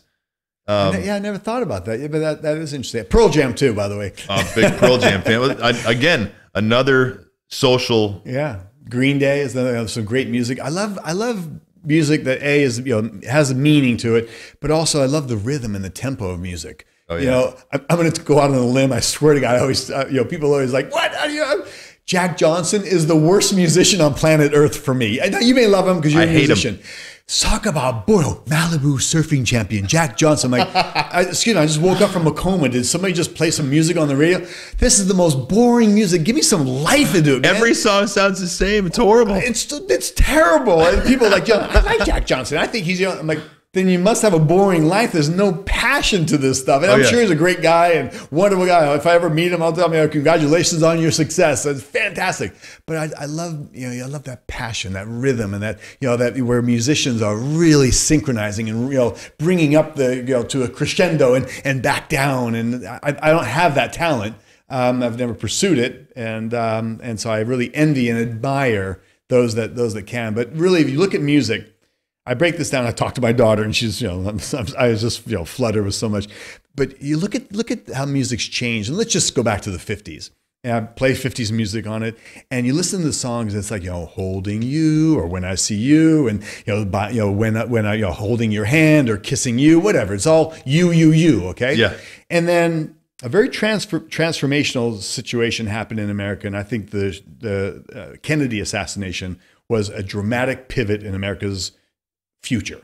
All right, you saw a leader of the free world executed on TV. It was played over, and you could see this guy being, you know, your president being killed. Right. And then you saw within year, within a few years, people with long hair and drugs and drop out, and you know this whole social change. Okay, there's a real pivot in America's uh, uh, America's I think you know present and future. Right. So so but the, and it was reflected in the music because the music became a conscious. The music became a statement. There was a, a message to the community, whatever it was. You know, agreed or not agreed or whatever. But there was the music had a social conscience to it. Okay. Then you went into the 80s and the 90s. And some music kept you know changing. There was you know music and, and, and messages and such. And then you know big hair bands and music was a little more fun. But my point in ending, getting to music now so there's no more band there's no more gar- garage bands so to speak you go to a studio you create you, you you sing and lay down a track that somebody wrote or you if you're talented enough to create it but you haven't in many instances you haven't worked as a team to develop your rhythm and your message and your and your you know that garage that garage band is missing okay so now you have music that's all narcissistic it's all me, me, me. I'm the greatest. I'm the coolest. I'm the this. The party doesn't start till I arrive. You know, you name it. It's all fun. It's pop. It's cool. It's you know, it's got a zip to it and great. You can fun. You dance. It's you know, it's lighthearted. Can I say something real quick? Yeah. It's garbage. Yeah, it, it, in in many instances, This is my show. I'm saying it's garbage. Yeah. Now, there's uh, it's just so narcissistic. It's it- all me, a- me, me, me, As me. a person who is a musician and a huge fan of music, when you get on stage and play music with a band. Um, Mm-hmm. a team. Something happens Yeah. where you know because you get up and sing karaoke and it's just stupid. But you get up there with a band and you've got a crowd of people. Something happens with that crowd of people. It's a night. It's Mm-hmm. Yeah. an event. There's something special that happens there with all those people. Yeah. You know, and You're it's- synchronizing Yeah, and- from and- from stage and to the audience. Would I, that be Yeah, exactly. Yeah. I You never know? thought about that, but yeah. Oh, it's it, it's it's a magic thing that happens between everybody that's in that venue, in that room. Mm-hmm. And you take it away and we as the musicians, you know, get to walk back afterwards and just feel amazing. It's a high, right? Oh, it's a total high. And because you're communicating love, Mm-hmm. you're communicating hate, you're communicating mad, you're communicating happy, whatever it is. And if you're doing it the right way, then those people on the other side are communicating it back to you. Right. And feeling it and taking it in. Sure. And that's something that's just not done today. You know, I, I Yeah. listen to it and i we talk about it all the time. It's just like there's no heart and soul behind it. It's just what you talked about.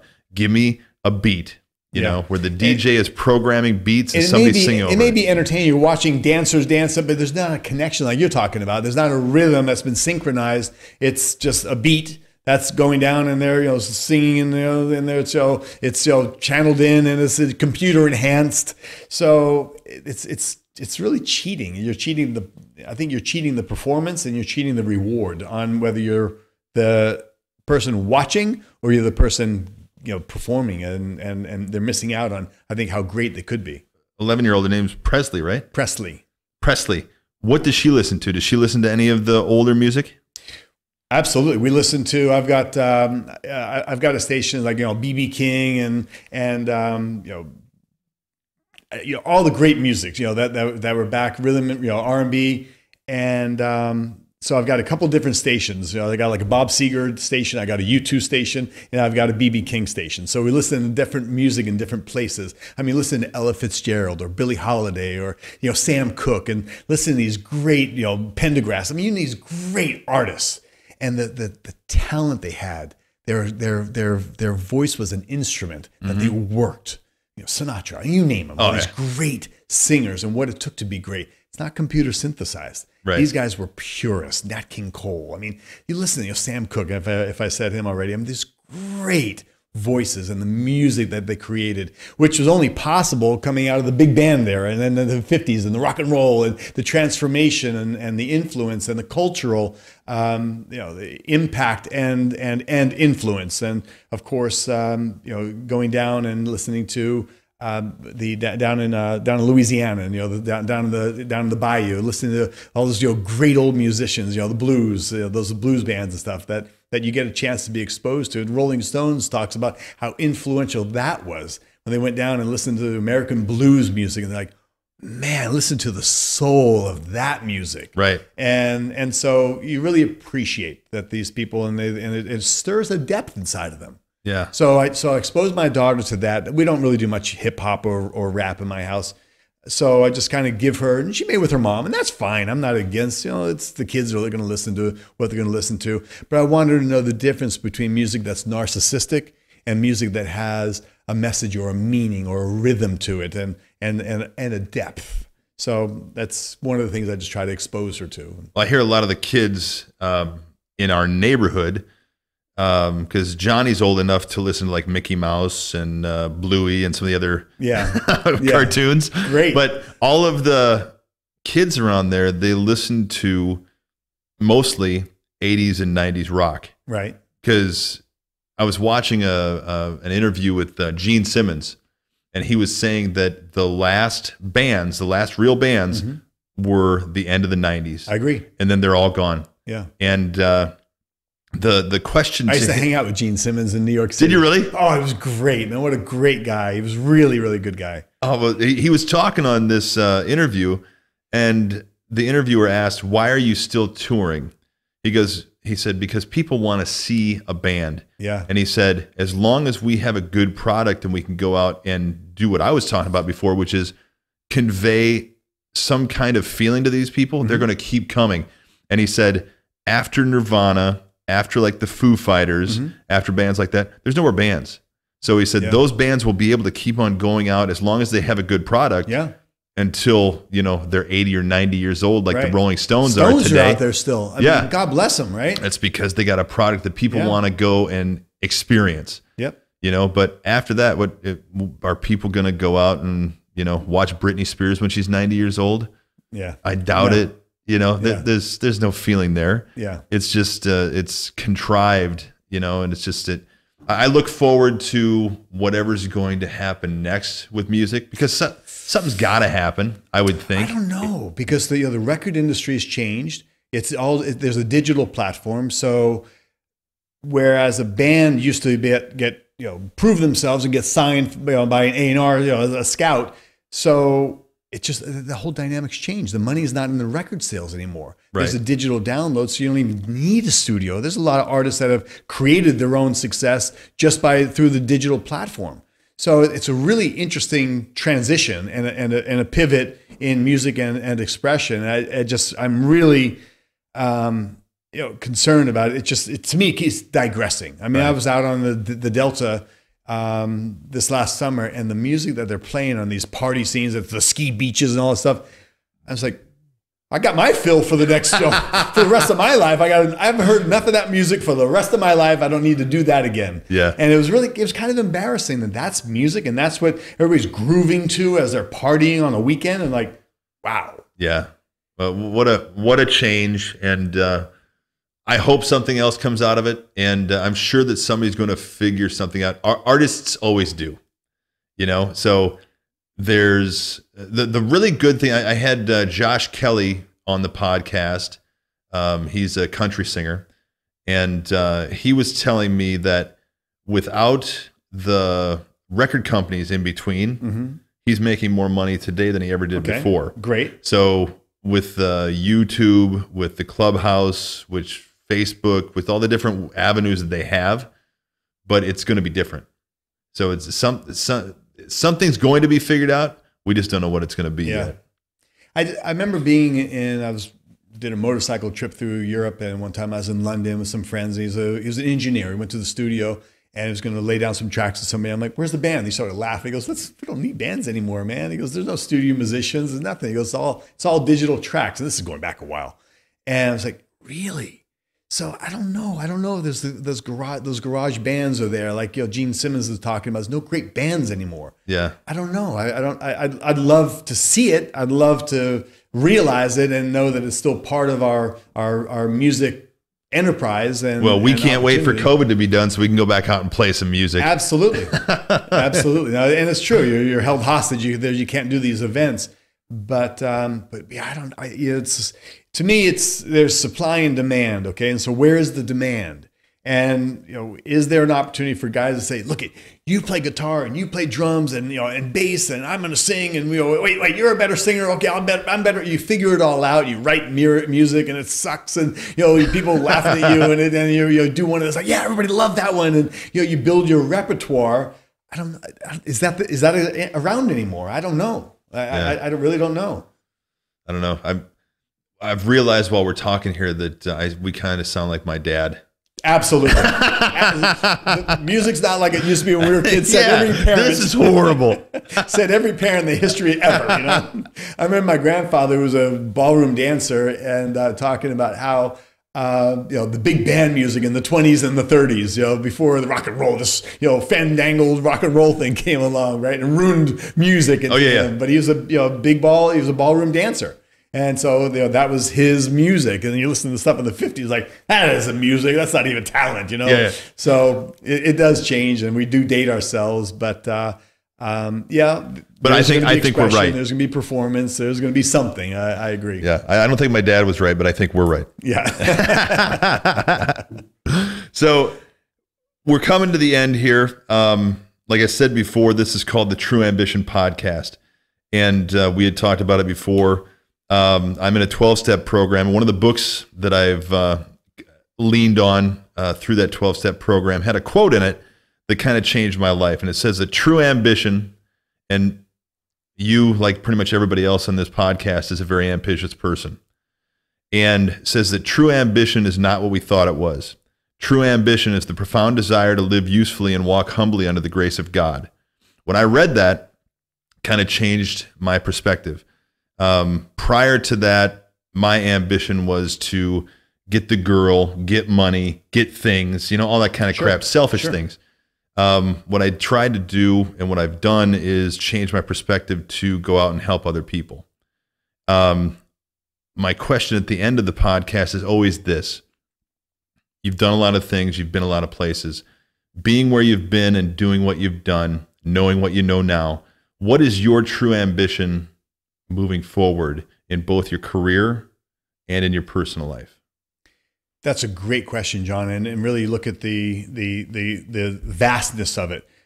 When I was an actor, when first when I was a boxer, I wanted to be middleweight champion of the world, right? I used to have a burning desire. I always wanted to be able to walk into a school and tell kids to live a good life and work hard. And so it was interesting. From a young man, I wanted to have an influence. I wanted to be an influencer for people, you know, stay off of drugs like I did. I, I made good choices. I worked hard, and I always wanted to just mentor people to do that.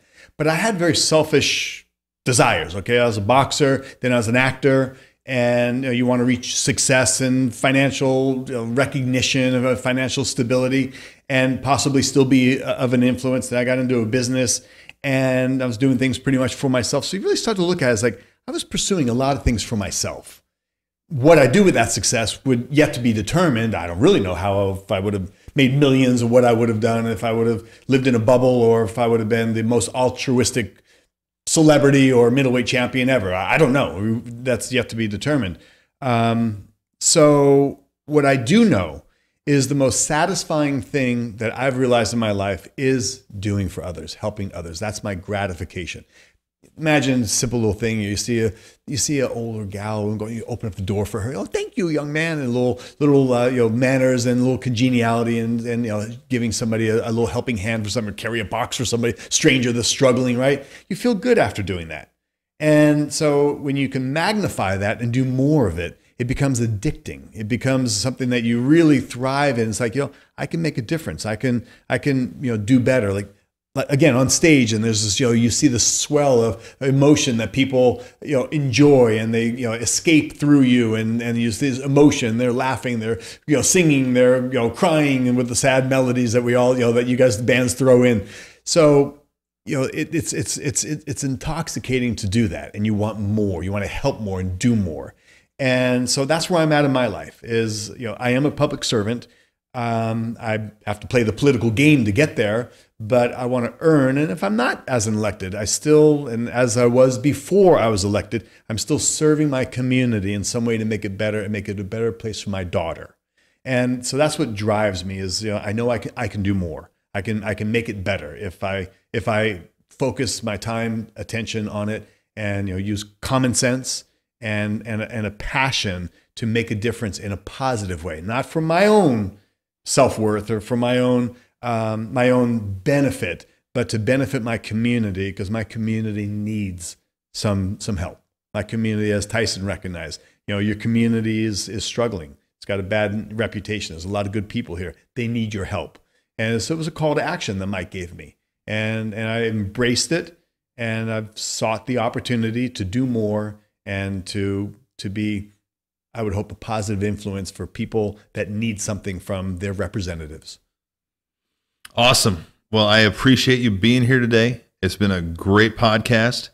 And uh, maybe uh, down the road here, after we get some of these things done, we'll have you back and we'll talk about some of the progress. Absolutely, but more importantly, I appreciate you and and you guys for what you're doing because you you you're leaving a positive message to everybody that wants to listen and wants to go on a journey with you. And this is a long conversation and it's filled. And I know you know you may take snippets and put it out there for people to learn, but but the journey you're on and and how you're mentoring within the community and beyond with this technology is is very important. And and I really appreciate that you're doing this. A lot of people talk about what they'll do, but you're you're putting you know pencil or pen to paper and writing a book you're you know you've created this enterprise this podcast to reach people that can take a person that might be depressed or might be challenged or struggling or or even thinking on the brink of suicide as many people are because of covid Right. that's that's all increased but you're you know you're putting it out there that you know you can do more and you will do more and and and we we together can make a difference.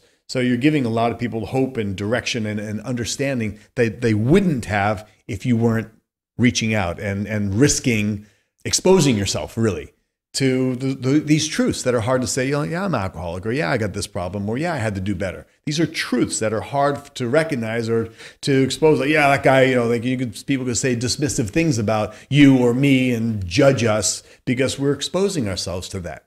What's the fun? The the great part about what you just said there is once you expose your true self, something that was a problem in the past, you take all the power out of it, and it's gone. True. You know, and that that's what it's really done for me. And I I think if more people who are watching this right now would just be honest, you really, if you're just willing to ask help, the door's already open. You Yep. can walk right through it. There's no lock, there's no key, there's no nothing. Door's open. Just walk through it. Ask somebody else for help, and you're good to go. Yep. True. Very true. So I appreciate you being here, Tom Patti. Thank you so Thank much. You. Thank you. I really appreciate it. It's been great. Thanks for uh, tuning into the True Ambition podcast. We'll see you next time. The True Ambition podcast is brought to you by IT Avalon. For more information and links to other episodes, please visit www.trueambition.org. Now, go find your true ambition. And I'll be